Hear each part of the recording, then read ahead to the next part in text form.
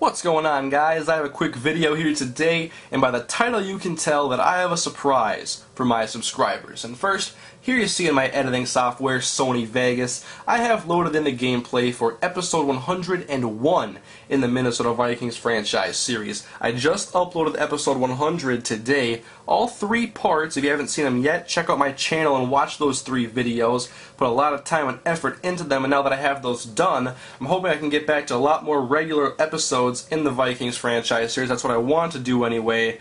But that's not the surprise I'm talking about for my subscribers. Earlier this week I ordered a new computer because over the past year that I've been doing YouTube, everything has happened on my laptop here.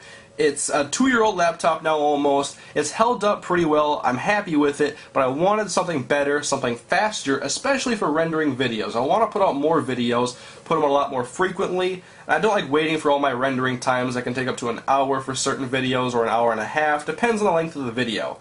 But I got a new computer, I ordered a new computer anyways. It should be here next week, and because I'm a college student, I was able to get something with that computer because it is a PC. It was one of the PCs that Microsoft does a special deal for, and that has allowed me to get this surprise for my subscribers. We'll go over here.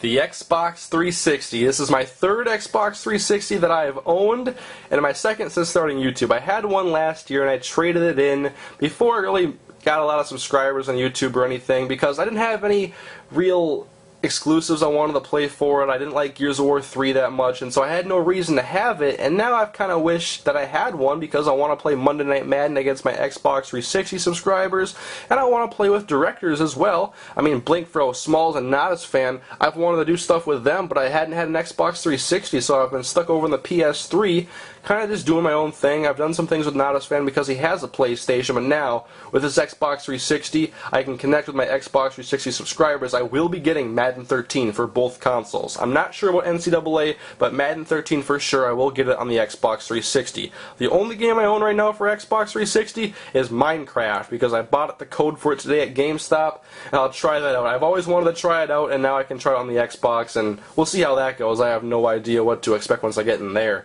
But this is a surprise, guys. I have an Xbox 360. I'm back over here where everybody else seems to be playing on the... I felt like a loner on the PS3. I love the PS3. It's I still prefer to the Xbox 360 because of the exclusives, but I'm happy to have an Xbox again that I got with my computer. My computer should be here next week. I can't wait to get that as well. But I have this Xbox 360, guys. This is a surprise. Thank you for watching. I'll see you guys next time.